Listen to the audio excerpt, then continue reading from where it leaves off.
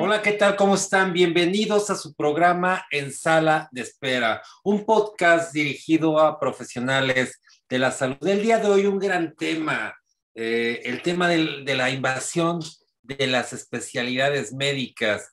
Cuando un médico realiza atenciones médicas que no son de su especialidad.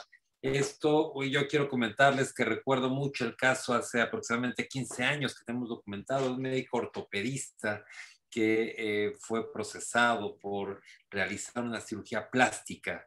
En aquel entonces, el agente del Ministerio Público que integraba en aquel entonces, en, en aquella época, una averiguación previa, eh, veía y estudiaba que no había una disposición en el Código Penal que expresamente castigara el hecho de que un médico realizara un procedimiento médico de otra especialidad. No estaba tipificado como delito, como no está ahora.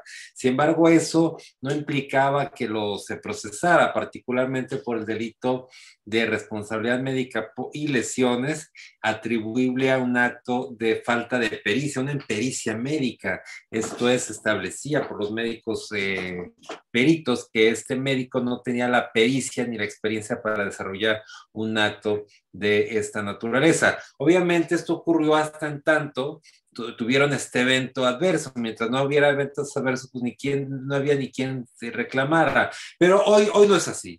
Hoy, a pesar de que el Código Penal no lo establezca expresamente como delito, en el 2011 se sufrió una reforma a la Ley General de Salud que establece expresamente que a todos aquellos procedimientos de cirugía estética que tengan que ver con corregir eh, una parte del cuerpo una, o la cara, tendrán, eh, en la parte estética, tendrán que ser forzosamente realizados por un médico especialista en cirugía plástica, estética y reconstructiva.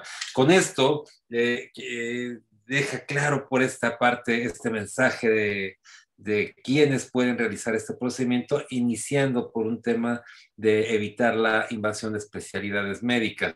Pero no es en todos los casos, también me encuentro con médicos que que no médicos generales, por ejemplo, que llevan a cabo cesáreas o llevan a cabo histerectomías. Luego, entonces, muy importante el, establecer una regulación adecuada para evitar las invasiones de especialidades médicas, porque además tiene un beneficio que es la protección al derecho a la salud de, los de, la, de las personas, eh, particularmente eh, que, que, es un tema, es un derecho humano y es un interés superior el tema de la salud. Luego, entonces, el artículo cuarto del reglamento de la ley general, del reglamento, de la ley reglamentaria del artículo 5 constitucional en materia de profesiones, lo que comúnmente se denomina ley de profesiones, establece que el Ejecutivo Federal establecerá cuáles son los campos de acción de cada profesión y establecerá específicamente los, sí, los campos de acción de cada, de cada, de cada profesión. En ese sentido, eh, establece que se crearán comités, el reglamento de esta ley reglamentaria, para establecer cuáles son los rangos de acción de cada eh, profesión y por supuesto de cada especialidad médica. Y creo que es un reto, es, es no solamente es un reto, pero es un deber que se tiene de establecer qué es lo que puede atender cada especialidad. De esta manera no dejaríamos al arbitrio ni a la libertad de todo mundo de hacer cada quien lo que quisiera, porque esto va a reiterar en detrimento de los propios pacientes. Luego entonces de esa manera poder establecer que sí lleva a cabo una, una especialidad que otra. Esto a raíz de que sí hay especialidades médicas que además del procedimiento al que someten al paciente, aprovechándolo, realizan procedimientos estéticos, incluso sometiéndolos a un riesgo innecesario, de trombos principalmente, que son los principales riesgos que, eh, que se advierten en ese tipo de, de procedimientos y que deben ser además atendidos por un médico que no está preparado para este, para este tema.